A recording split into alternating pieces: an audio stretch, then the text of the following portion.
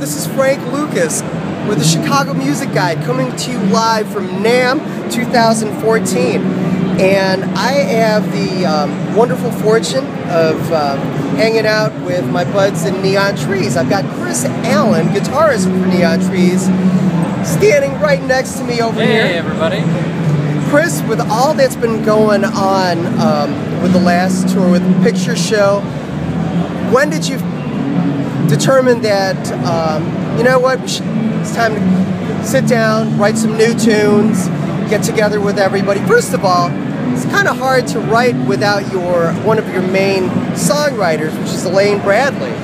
Yeah, she was out for a little while, and uh, but uh, you know Tyler does a lot of the early stages of the writing. And he'll kind of get, get demos together, and uh, he brings them to us, and we kind of form the Neon Trees sound out of that.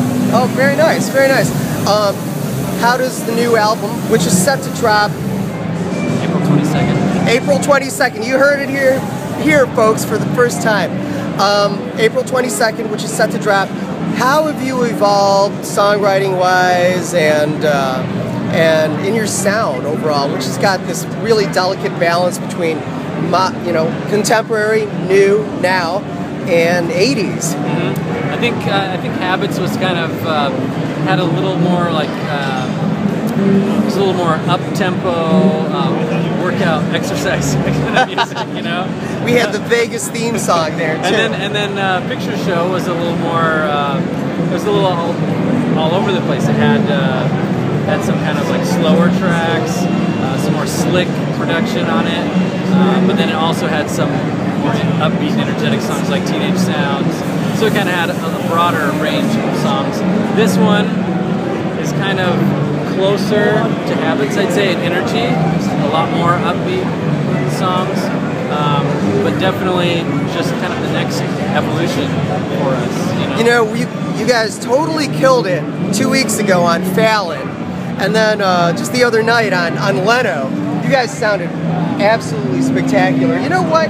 It's nice to have Elaine back in the fold. I think you missed her uh, backing vocals as well. You forget sometimes that she's also uh, main, one of the main contributors uh, uh vocally, in addition to being an exceptional drummer and a songwriter. But you guys totally killed it both times. I, we have a lot to look forward to, basically. yeah, I mean, it's great having Elaine back because she is just a powerhouse. She, uh, her voice blends really nicely with Tyler's, and she's so full of energy and so much fun. So, well, we're looking forward to a world tour. You're going to definitely play North America. I think maybe hitting Chicago sometime soon. Oh, for sure. We're always playing Chicago. Awesome. And I won't forget that um, that triple bill with you and Owl City and Maroon Five.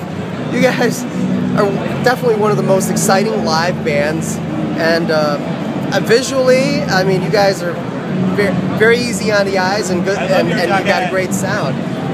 Thanks.